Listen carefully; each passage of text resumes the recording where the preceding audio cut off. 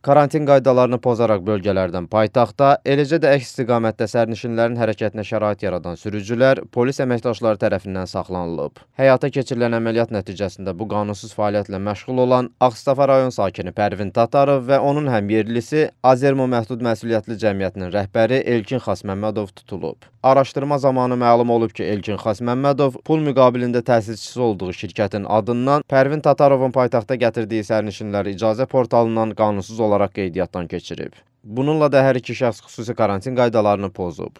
Polis əməkdaşlarının həyata keçirdikləri daha bir tədbir zamanı isə karantin qaydalarını pozaraq Bakı şəhərindən Astara rayonuna sərnişin daşımaqla məşğul olan İmran Qəhrəmanov saxlanılıb. Bu şəxs rayon qeydiyyatında olan yaxın qohumlarının şəxsiyyət vəsiqələrini götürərək karantin postunda güya həmin adamları apardığını bildirib və polis əməkdaşlarını aldatmağa cəhd göstərib. Araşdırma zamanı isə onun sərnişinlərinin şəxsiyyət vəsiqələrini təqdim etdiyi şəxslər yox, qeydiyyatı paytaxtda olan başqa insanların olduğu məlum olub. Hər üç şəxs barəsində Cinayət Məcəlləsinin müvafiq maddəsi ilə cinayət işi açılıb. Karantin qaydalarını pozan Pərvin Tatarov, Elkin Xasməmmədov və İmran Qəhrəmanov barəsində məhkəmənin qərarı ilə həbs qəti imkan tədbiri seçilib. Araşdırmalar davam etdirilir.